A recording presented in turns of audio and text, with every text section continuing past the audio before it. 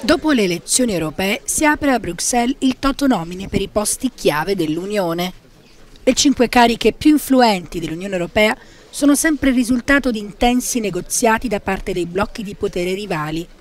Possono volerci settimane per concordare i nomi, di solito richiedono accordi e compromessi trasversali.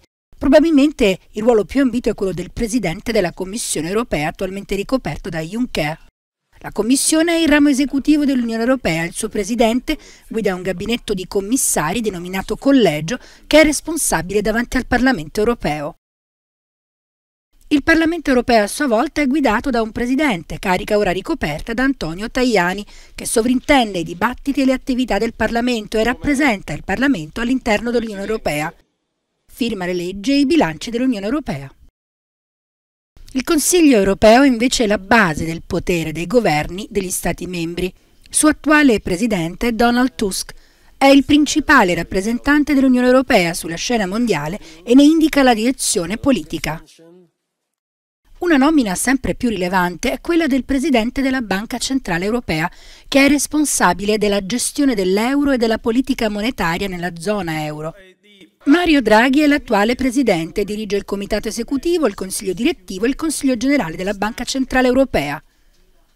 L'unico incarico attualmente ricoperto da una donna e del quale avverrà la nuova nomina è quello dell'alto rappresentante degli affari esteri. Oggi alla guida c'è Federica Mogherini ed è la coordinatrice principale della politica estera della sicurezza comune sulla scena mondiale. Nel tempo l'accordo per queste nomine si è rivelato un solido lavoro diplomatico sempre di più tra le istituzioni dell'Unione Europea.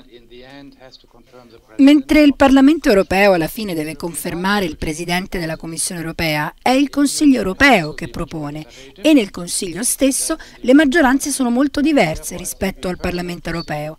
Quindi credo che dobbiamo prima vedere cosa deciderà il Consiglio europeo, dove le decisioni da prendere sono diverse, visto che devono anche convergere sul nome della Banca Centrale Europea e su quello dello stesso Consiglio europeo.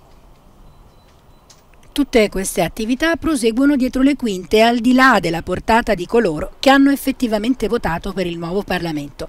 I cittadini dell'Unione Europea, tramite il loro voto, affidano ai loro rappresentanti il compito di assegnare gli incarichi più rilevanti in Europa.